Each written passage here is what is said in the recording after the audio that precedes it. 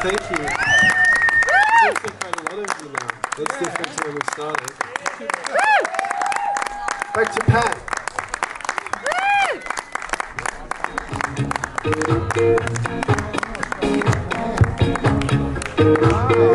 Pat.